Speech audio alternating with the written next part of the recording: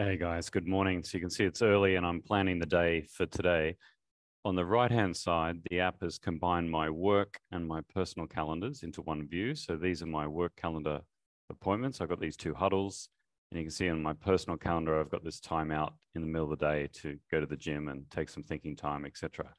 So on the left-hand side, I've got the quick to-dos and the longer to-dos. And you can see the longer to-dos, you can adjust the time, how long you think it's going to take and the quick to-dos get aggregated together and it, on the schedule it creates a quick to-do allowance. You haven't got too many things appearing on the schedule page there's also a general allowance which you can set for unplanned interruptions. You can see today i've got about what's that 17 about 30 minutes of that set for the day. And if i click up here i'll be able to see what it is. Yep 30 minutes.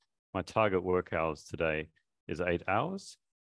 And when I'm looking at the longer to-dos, you can see I've got this one here, which I actually want to do first, and it's uh, it's not scheduled first, and I need more time. So what I'll do, I'm actually going to make that, say, an hour and a half, give it a little bit more time. So that's going to trigger a reschedule. You can see it's split it across there, taking more time. But I also now want to make it the first to do for the day. So I'm going to move it up, and that'll trigger the schedule to change in a moment. There it is. So I've got a little allowance here for unplanned interruptions, like making this video, and then I'll be able to get into that. And it's scheduled it around those existing meetings. So I should have that one finished by 1025. Then I've got a little bit of time. It's automatically scheduled for me to get through these quick to-dos. Then I'll be off to the gym, personal calendar. And then in the afternoon, I'll move on to the next longer to-do. And I can see already before my day starts, my capacity is 72%. So I've got room to take on more things today versus my target work hours.